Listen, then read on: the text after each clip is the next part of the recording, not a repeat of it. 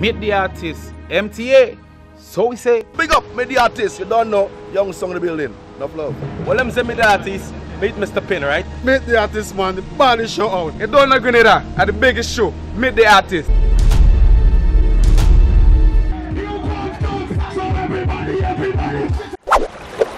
Hey, hey, me, Squeezing, bigging up, meet the artist. What you say? Meet the artist, the body show. Meet the artist to the world. Big up, meet the artist. Meet the artist, sell off.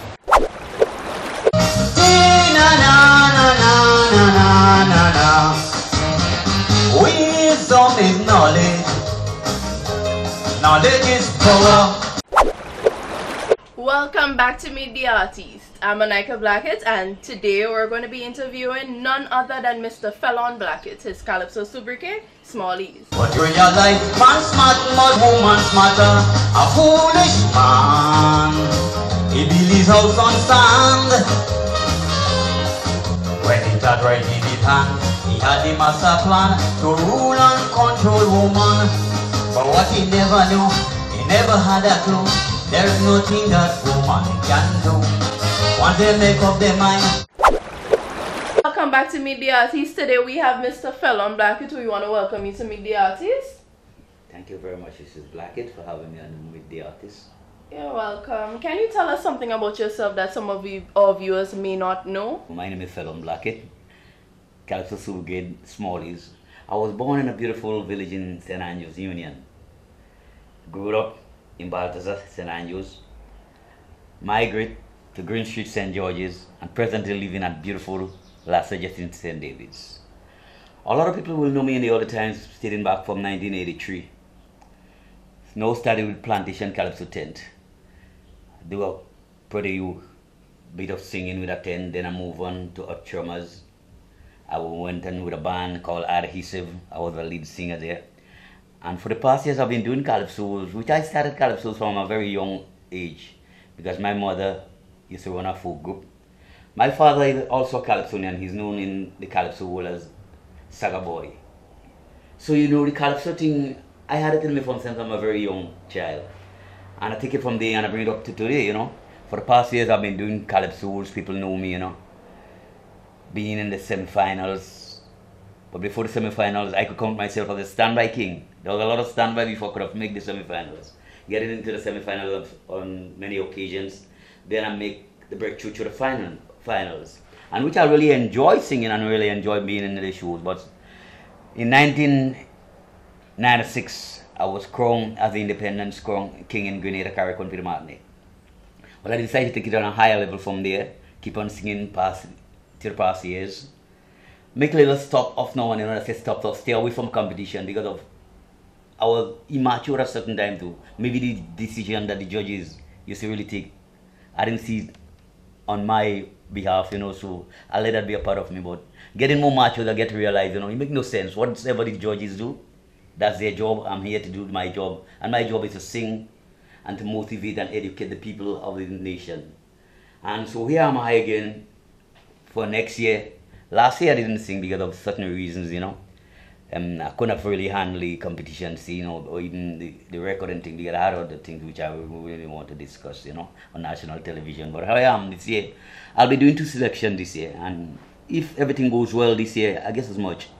Smalley should be right through. It's, it's two nice selection. And I think these two selections should bring me through. man is brave. And as bold as a lion. Tell us some of the, your popular songs from back in the days? I have a lot of popular songs. Ah, okay. But for the people calls, I will tell you the environment. Save the environment. Even my name is Pan. But a real song I think that people really like is Port of Spain. But my favorite song in all of them is My Apology. People usually call it Granny. Because this song is a true song, you know. I wrote this song when my grandmother was alive. And I never get to do it, you know, on tape, but I had really sing it for her before she died. But to me, anytime I sing that song, anytime I hear that song, it brings me back to the old childhood days, you know. So, but there is a lot of popular songs that people could tell you, you know. But as I said, if I might repeat myself, I think Port of Spain is the one that stands out in all of them. Tell us what your take is on the copyright issue this year with artists being registered. What do you think about that? Well, the Copyright Act, I think it's a good it's a good move. But any organization or any group of people that want to get the Copyright Act together, it's a good thing because remember, artists been singing songs and sometimes they get nothing in return. When you do art, people play it on different radio stations. We're glad that they're playing our songs, so I mean we could get established towards the world. And if you check the modern mm, um, social media now, everybody getting to know about your song, but something should be given back onto the artist. But you have to take careful thoughts of any organization that get into the Copyright Act. I mean, I'll support them 100%, although I'm not a member of the, um, the act as yet. But very soon, I'll be a member. I just want to know where they're going, because we know where we came from, where they're going, and what are the benefits that most of the artists gonna get. Because when I dead and gone, my grandchildren and my great great grandchildren will be able to get benefits. So I think it's a good move by a group of persons or persons that really take up that. Hats off to them. A stupid man, he'll be find up in a jam. What is your take on the two associations happening right now in Grenada? you know, I have to make a smile on that one, you know, although I'm a smiling man, but every time people talk about the two association, I see it in my years of experience in Grenada, taking part in Calypso and the association, it's like a game, a game towards the political affiliations. Because a place like Grenada, I don't think there is any need for two associations. The Calypsonian is one cry of one purpose, one goal we're trying to achieve. And I don't see why we just can't come together as a people or as artists and unite. Unify this thing and bring it together under one umbrella with the Ministry of Culture stepping in as a co-host, somebody to, to guide us. Because if you check for the past years, I'm being honest, it's only politics that been playing in the associations. Calypsonians, due respect to them. Georges, due respect to them. They're using the our associations to preach their political games. And this have to stop if we want to go somewhere and we want to be on the right path. So the younger guys and girls could take a page of the book that we wrote and left behind. Otherwise, it's going to be serious for us. We going out. It mightn't be for me. But think about the young Calypsonian that's coming up. The trend that we're trying to show them to take. It is not good for them. And when I leave this place and go planet Earth, I would like to put footprints on the sun where the wave cannot wash it off. So I think the association to try and step up, step up to the plate. And let we come as one body for one common goal and bring this thing to a level where it got to be. We're chatting with Smallies here today. We'll be right back. We take a short break. Maitlands, motor sales and rentals. Maitlands, motor sales and rentals. Maitlands Motor Sales and Rentals now stock a wider range of used auto parts for all imports. They include transmissions, headlights, engines, bonnets, windscreens. If we do not have the part, we source it. Come and visit us today and experience the comfort of our bikes, our scooters, Noahs, Honda CRVs, Suzuki Escudos, Grand Vitaras. When you purchase a vehicle from us that is as young as 2005, you earn yourself 6 months warranty and of course your first brake and oil change. And when you purchase a vehicle that is as young as 2004, you earn yourself 4 months warranty. So if you are looking for a one-stop shop for all your vehicular needs, then visit Maitlands Motor Sales and Rentals. Our rental service offers you unlimited mileage on our cars, jeeps, and scooters. Yes, we are open 365 days per year, giving you a 24 hour service. We operate at two convenient locations at Maurice Bishop International Airport, Point St. George's, and at Grand Anse St. George's. Our numbers are 444 4022 or 444 3272. Our cell 536 0735 or 405 4796. Maitland's Motor Sales and Rentals, taking you to the acme of mobility. When you come Grenada for the summertime, meet the artist MTA. So we say, Big up, meet the artist. You don't know, young song in the building. Enough love. well, let me say meet the artist, meet Mr. Pin, right? Meet the artist, man. The body show out. You don't know Grenada at the biggest show, meet the artist.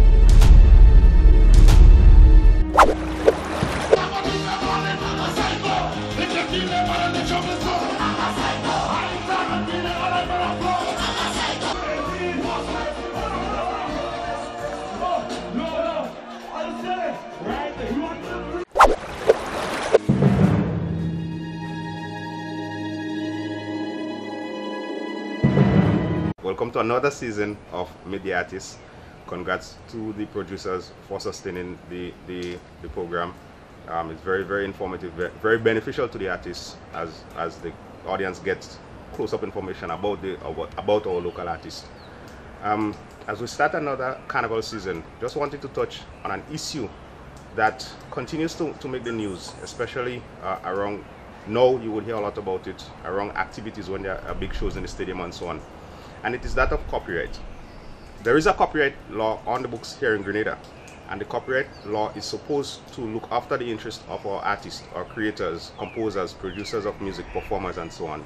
However, we have found ourselves in a dichotomy where there is advocacy on behalf of the artist, but not necessarily to the benefit of the artist.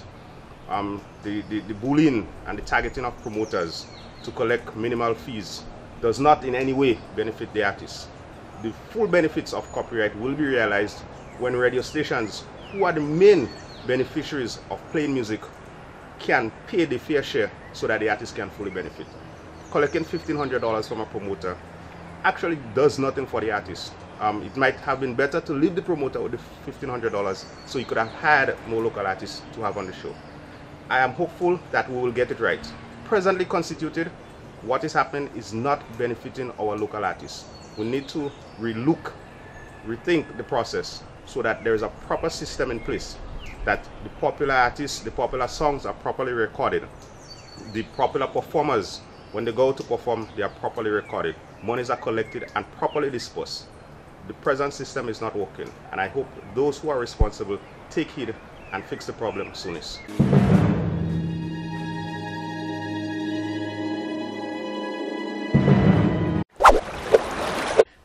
Back to Meet the Artist. Today we have with us Smallies. Say you fed up with kids, it's so much lies deep and visit. You say you want transparency and good governance. You find the boat overload, so you throw you now overboard. We hear Calypsonians say that they are not judged fairly. However, when workshops are carded, little or no one shows up. What What is your take on that? Well, my take on that, I could be wrong. But you see, we have to take into consideration the Calypsonians are working personnels. And sometimes you see people just get together and put out over the radio that there will be a workshop next week, Wednesday, next week, Thursday, next week, Saturday. You see, what I feel should be happening, first of all, you don't really take much to get a pen and paper and put together and write the artists, write to them in person and say, hey, we want to have a workshop. Or pick up the phone and call the artist. Because they should have every artist, if the thing really put in place, how it's supposed to be, you should have to have each and every Calypsonian number. So you could pick up the phone and have a chit chat with them and say, hey, Smallies can make it Wednesday, but you can make it Saturday because he have his family to take care of and he have to go to work. But most of the time they don't do that. People just get together and they say, we're having a workshop. Although I'm not using that for excuse. On the other hand, let me look at the next page. For instance, me, I will encourage everyone to go to a workshop. But at the end of the day, sometimes Calypsonian don't go to a workshop. Because going to the workshop, sometimes to the Calypsonian, it solves no problems. Because or no problem being solved. Because the same thing that's been doing, due respect to the judge for the um, them judges, the work they're doing. But a lot of them know that they are not doing a proper job. I'm not saying that, you know, I want to take over the job, but if you're doing something, you must do it good. A lot of times we know judges have discussion like any other Calypsonian in any room shop. I go meet a judge and I go say, whoa, scrumpy bar this year, boy, scrumpy bar. I listen him over there and I say that to our next judge. Side by judge in our room shop, talking which we call it. And that judge sometimes when he go, all the workshop he done, when he go to judge Scrumpy, he don't listening for Scrumpy have to say the night. All he know that a next judge tell, tell him already that Scrumpy bad. So all he going to do is mark Scrumpy the kind of points you want to get him in. I mean, I'm only using the name because he's a Calypsonian, and that's what come to mind to um, uh, at present. But what I'm saying to the people, we know that they're making a great sacrifice, just like the Calypsonian. But come on, guys and girls, as judges, you respect order, but all you need to get this thing straight. And this is more some of the main reasons that Calypsonian don't go into workshops. Because they had happened in the past. And it's gonna happen again if they don't step up to the plate. That finger,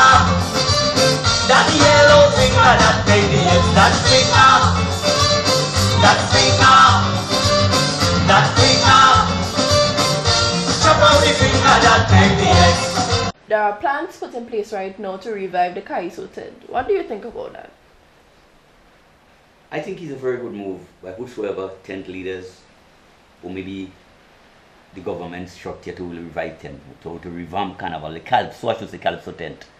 Because for past years we've been going through a lot of Calypsonian. When the season comes, July, to practice, you're good to go. That's what they say to us most of the time, you're good to go. Two shoes. launching at the tent, judging at the tent the next one. And this is not good at all. I find that we should have adequate time as artists to prepare ourselves. I want to say as artists, I'm talking about players of instrument too. Most of the time, guys playing music on stage for you. You have the calypso and you're moving, they're not, not moving because you're not too acquainted, they're reading, you know. You're not too acquainted with the songs. And if this tent started early, that you have enough practice, you won't have them kind of problems. So what a field tent manager should do, it's time that we get up. If you check all groups getting together and having block O, they having 3 for 10 and 2, 2 for 10 and whatsoever they having. Why we the Calypsonian and the tent leaders can't organize our tents early and make a block O and try to if could raise funds to have a tent starting early instead of waiting every year for government subventions. We know that they're going to give us the money. That's that's the duty they're going to give us. But most of the time they pull foot and it'll be late. Because we have to tell ourselves as Calypsonian, without we, as the players of Calypso and Carnival, they could never be Carnival. So we have to get up and help ourselves. It's too long we waiting on subvention and we will just go too far to say, if they don't pay us subvention, we go boycott Carnival. We have to look at other interviews, other things to do to, to really revive the Calypso tent. Because if you check the Soca Man, I like how they have it nice. I'm afraid just now we will have it like the Soca Men to just take our CD and just judge on the CD. And I, I, I, I pray that that will never happen. Because Soca Man, he do his thing from a demo and he go and judge on it. He make the preliminaries by judging on a tape, semi-final by judging on a tape. You don't have to pay much money only for the studio. But the Calypsonian one, we, we, had to go and score our sheet, our sheet. 150 to score one song. And we have to do two songs, so it- there's a cost. So we need to help ourselves. And the people who behind Carnival, get up. We don't feel hot sometimes as Calypsonian to see we have side in the rain. And no umbrella over our head. Up to now, Grenadians waiting. Cause after your budget ready, so much hungry more to be fed. You push casino away, and you introduce the way. You think with the freedom and we blind. You always got walk up in the pipeline. Around the country, wherever you go. It's yellow, yellow. Can you tell us what are your plans for 2K13? Well, my plan for 2K13, I'm singing this year. I got a song they call I Plead the Blood. And have a next song, I say, well, I call it the People Song. I just relating what had happened in the Ghana election. The title of the song is Wash Out. Because if you check back in the Ghana election, there was a lot of melee, a lot of confusion, people saying this is. So I put it together, the lyrics together, and I'll be singing the people's songs. So I'll be just relating what the people said to me back in songs. Okay, so we can look out for you to this year to try it for the Dimagico once again? Well, it's not look out, you know. I'm here, you know. I'm here, and I'm taking this thing on a high highs, you know. I'm serious in this calypso competition more than ever. Couple past two years, I said that, you know. Uh, before I used to take it for fun, but now I'm taking calypso for. I'm a man. I'm getting older. I'm, I mean, I'm not old, but I'm getting older, and I gotta take life on a serious note in anything I do right now, you know. And calypso to me is a livelihood, and without money on the table from calypso, I cannot eat. I can't take care of my kids can't send them to university. So if I have to take Calypso serious, I have to look all options to be ready. Uh, if possible, winning in the crown this year. And this is what I, I really about doing this year. You always got walk up in the pipeline Around the country, wherever you go If yellow, yellow can get it slow Put your hands together for Fallon Blackett Smarties! A foolish man he his house on sand. When he had right in his hand, he had the master plan to rule and control woman. But what he never knew, he never had a clue. There's nothing that woman can do. Once they make up their mind, no to waste no time. You could have cried till you I get blue. Thank you very much for coming on Me Daddies with us today. We we hope that to see you again very soon and all the best for Carnival 2013. Thank you very much. When the fire get hot and the time get dread, she build a family of 20 with a love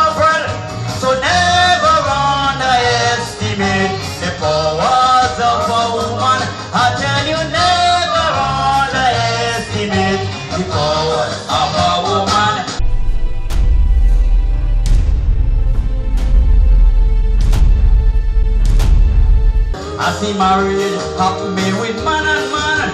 I see the evidence, but I can't believe. Everywhere you turn now with Adam and Steve. When I see the thing they do, my blood one cold. What is taking place in Papagal world? Tell them they could never ever be no substitute for a woman. I tell